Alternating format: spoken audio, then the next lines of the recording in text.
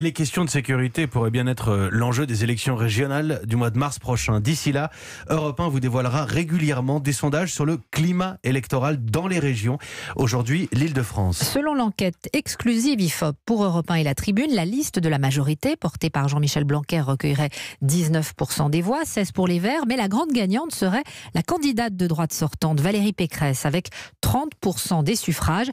Ça s'explique facilement selon Frédéric Dabi, directeur général adjoint de l'IFOP. Clairement, en Ile-de-France, la région capitale, il y a un avantage pour la sortante, Valérie Pécresse, qui selon les hypothèses d'attention de vote dans ce sondage obtient entre 29 et 31% Elle relègue largement les autres forces. On voit très bien, comme dans d'autres enquêtes de l'IFOP, à quel point un effet sortant émerge pour ces élections régionales. On a des élections régionales qui tendent à se municipaliser, c'est-à-dire que de plus en plus, les critères des électeurs vont être le bilan, le projet, l'incarnation, très clairement, les régions et l'Île-de-France, et dans ce cadre-là, ont tiré parti de leur action pendant la période du Covid. Quand les Français et les Franciliens ont eu le sentiment que l'État était un peu défaillant, un peu impuissant, ils ont eu le sentiment que les régions et les villes étaient à la hauteur. Autant de facteurs qui favorisent le président ou la présidente sortante, en l'occurrence Valérie Pécresse.